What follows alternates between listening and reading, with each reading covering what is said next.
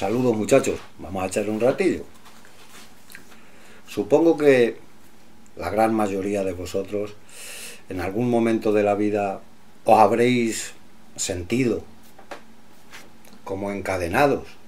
como atados, como se suele decir, de pies y manos. Situaciones que se presentan en las que nos vemos impotentes, en las que nos vemos incapaces de reaccionar, incapaces de soltarnos de esas cadenas. Esas cadenas que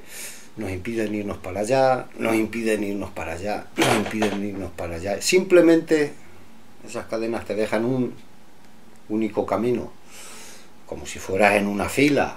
militar, por decirlo de alguna manera, de la que no te puedes salir. Tienes que ir marcando ese paso exclusivamente. Eh, en el último vídeo os hablé de que, bueno, habíamos estado, digamos, en una reunión, unos amigos, hablando sobre, bueno, el tema este de la autoayuda, eh, el autoconocimiento. Factores de estos que, con cuatro cuentos que muchas veces tienen un jugo, eso, inconmensurable, se pueden ver, bueno, claros conceptos que nos pueden ayudar, ya digo, a todos para ese crecimiento personal de cada uno, eso que nos va a hacer de ser más grandes, más sabios, más conscientes y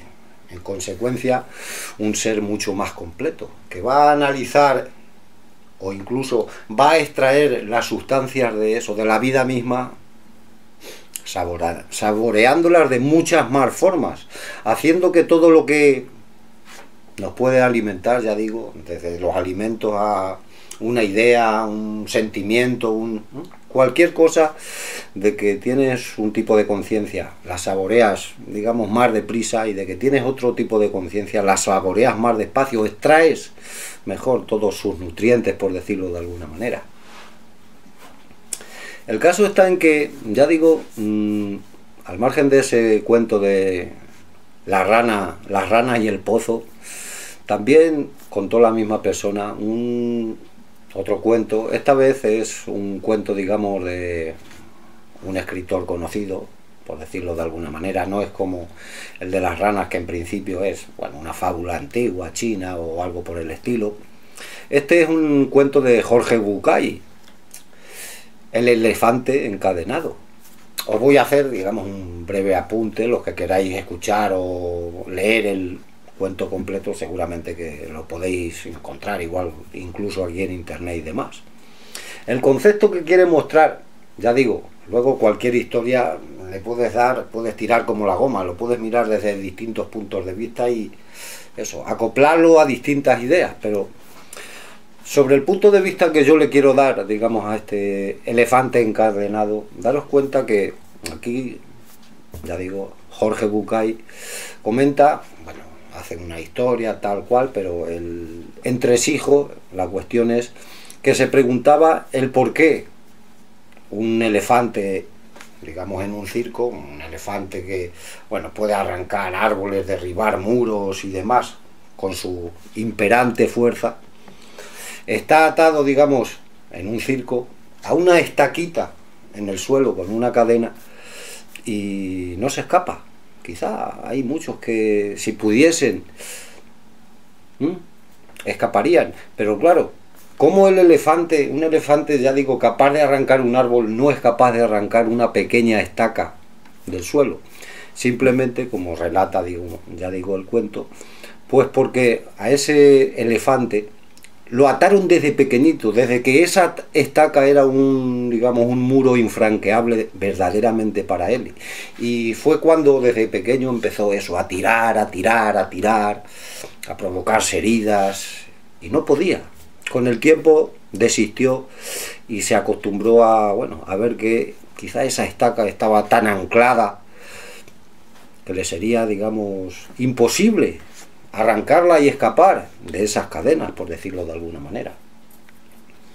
En realidad, ese es el concepto que quiero mostrar. Daros cuenta que desde que somos pequeños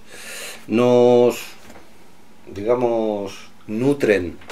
con una serie de conceptos, una serie de ideas, una serie de verdades,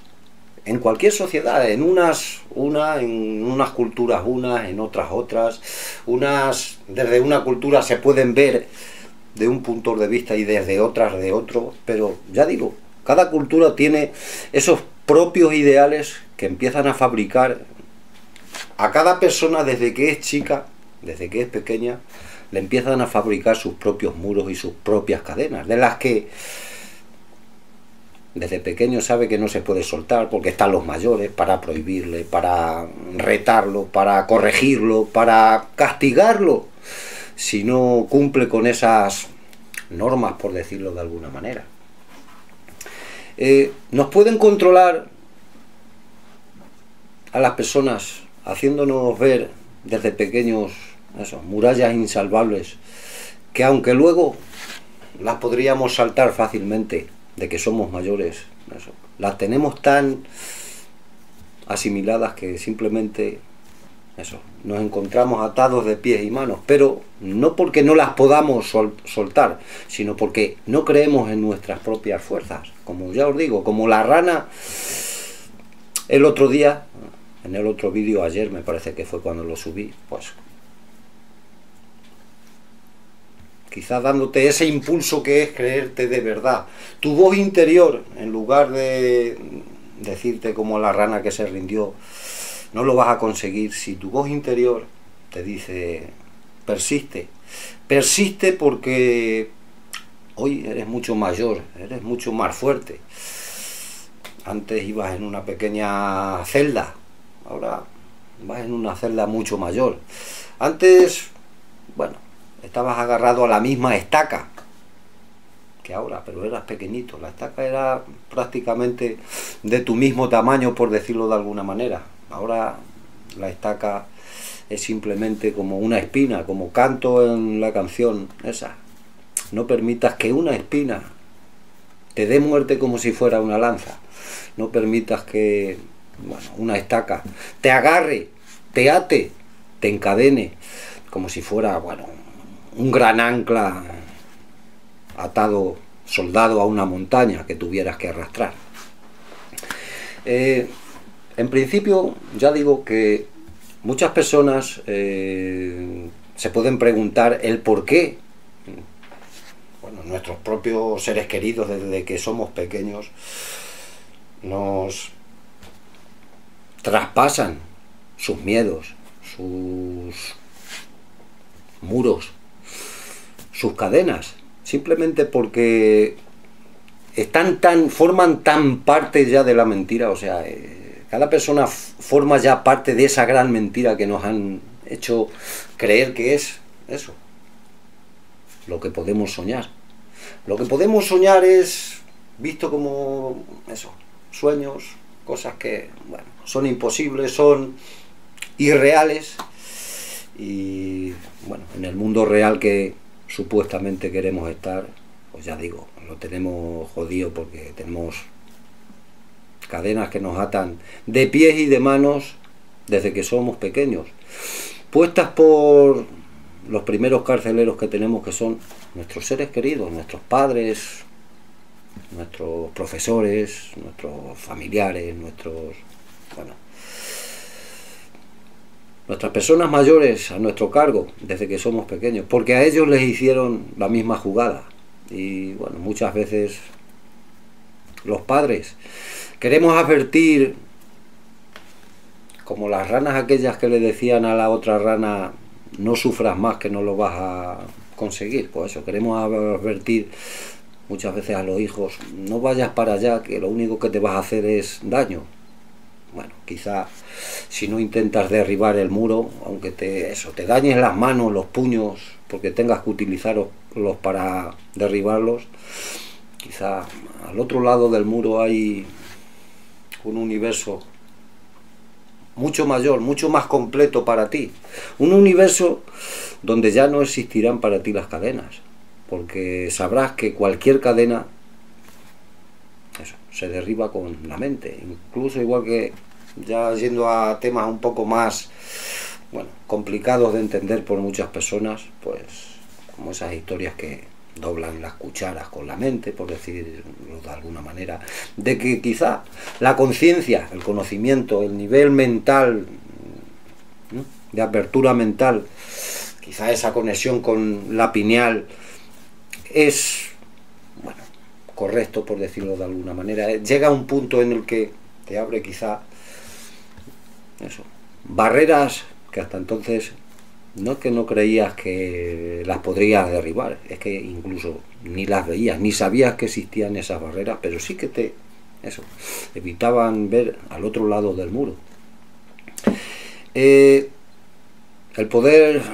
está en esta, si tu mente misma, tu canción interna te dice que no puedes, incluso porque lo has probado, eso, de que no podías de verdad, y ya te has hecho a la idea de una forma en la que te encuentras atado de pies y manos para siempre. Quizás si a ese elefante hay un gran grupo de elefantes alrededor, que ya se han liberado de esas cadenas y le empiezan a decir, tira, que te vas a saltar, tira, que te vas a soltar, tira, que te vas a liberar. Ese elefante tiraría. Pero claro, si están todos los elefantes en el mismo la misma situación es imposible. Simplemente el único, la única voz que tiene es ese recuerdo que de que era pequeño tiraba, se dañaba y desistió porque bueno, lo único que consiguió durante largo tiempo es hacerse daño y eso, y atarse de pies y manos para toda la vida. Y bueno muchachos, yo creo que ya hemos echado un ratillo, ya hemos echado aquí otro otra fabulilla un poco relacionada poniendo como base ese, ese cuento de Jorge Bucay y ya digo, ¿qué queréis que os cuente muchachos? Pues que ya hemos echado un ratillo y que somos uno y que soy otro tú.